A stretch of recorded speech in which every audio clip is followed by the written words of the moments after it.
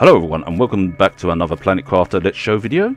Now this is Future Me talking and yes, you may have seen other videos of this of me starting off on this world with hardly anything or with it being barren red and such or it's still evolving and so forth.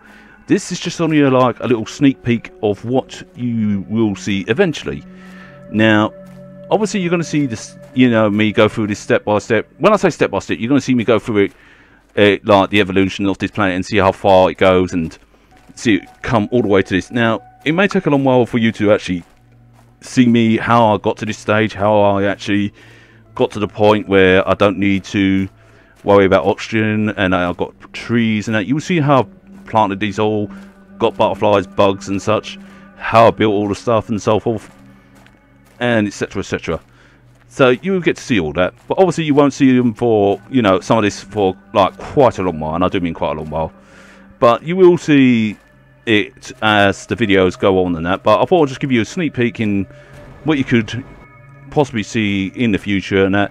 Yes, there will be more trees in this bar um, eventually, but moment, this is just what I've done so far and what I've actually made. Like, you know, I've made lots of butterfly biome domes, obviously butterfly farms. I also made some beehives and also, you know, just create this small part into a, I don't know, forest.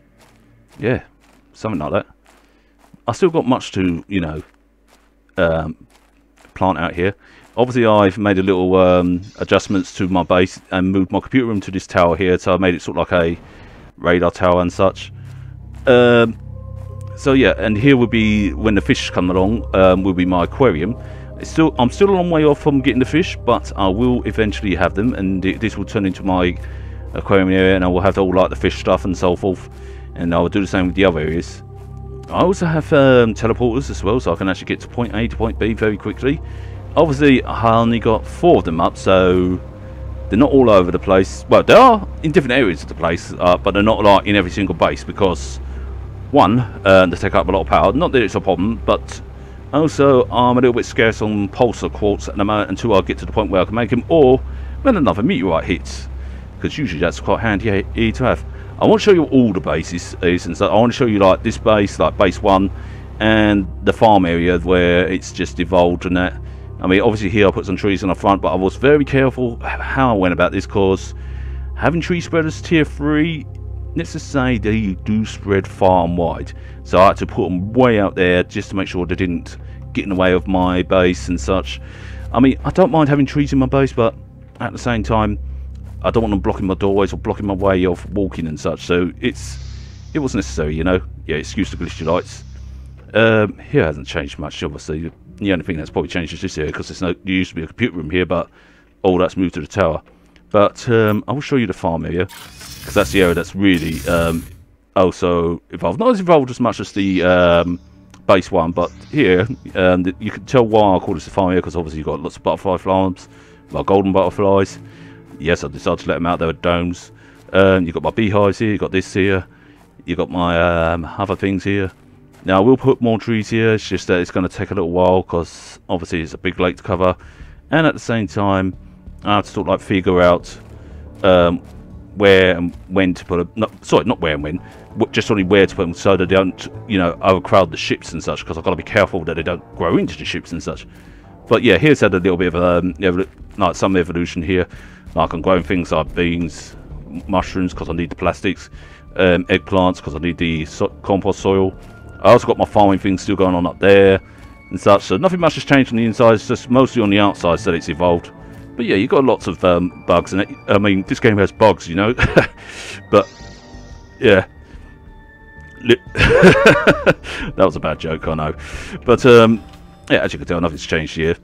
Still the same old, same old. But it's just the outside that's mostly changed. But the um, yeah, I do actually like how this base is. I am proud of um, how I've done.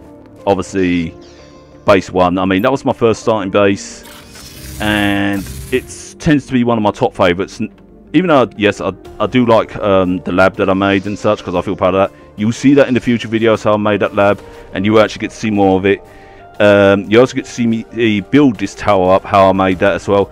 And you also get to see how far I actually evolve on this game as well, how I evolved and such, and how it came to this area, how I found like you know the artifacts and so forth. I'm not going to say any more because I don't want to spoil too much of my videos. I think I've already have, but hey, sue me. But yeah, I just want to show the progress that I'm making on this game and just say, hey, get a look and even just try and say to you lot, you know, try this game out. It is definitely worth giving it a shot, especially that, especially when it's in its early stages. You get to see what they're doing and such like that, and they're still working on new things and such, and it's just really quite good. Yeah, at the moment, actually, to say quite good is an understatement. I'm actually beyond impressed by it. But even though, yeah, you, some people can say, oh, it looks all basic and such, but this is just the beginning of it, you know. They're probably just working on more and more and more and more, and it will eventually evolve. And you know what? It it's kind of like this game itself. The actual game, the name Planet Crafter, you know, it's kind of like the planet. You're trying to make the planet evolve. You're making the planet evolve so it can be a breathable atmosphere, have trees, and etc. etc. And that's what the developers are doing with this game. They're trying to evolve the game to make it look great for you, to make to put things to interest you and such like that, just to make it into a full-fledged game and so forth. You know, so really, this game and the developers have a lot in common because it's about evolving and they are working on it and they actually, as this game evolves, they're putting new stuff in, evolving with the game sort of thing, if that makes sense. So yeah, but I do highly recommend you lot, you know, especially all you sci-fi nerds and crafted nerds out there, and I'm a nerd myself, so don't worry. If you like all this, all the Subnautica stuff, all the Astroneer stuff, give this a shot, you know, give it a shot. I mean, even if it's just giving it a two-hour shot and you just say, alright, I'll give it a shot, Want my money back, da da da, you know, that's fine, you know, just give it, just give it your best shot, you know, see what you feel. But I would definitely say, to those of you who've never tried this, I would say you won't be disappointed. It is really quite a good game, and yeah, oh, I know I'm easy to impress, but at the same time, I, even I have my expectations, and this game has kept me occupied for quite a long while. I mean, seriously, it is such a good game, and yes, it, it, there is a lot to keep you occupied uh, for a while, and yes, you will find yourself coming at an impasse where you go, what do I do now? But eventually, there will be a lot of things to do because, like I said, the developers are working on it.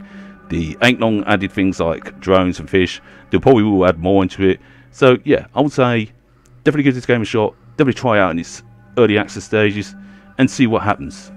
But yeah, it is tons of fun to play and I highly recommend it. And yeah, I hope you enjoyed what I'm showing so far. Until then, you'll, you'll take it easy. And, as always, peace out.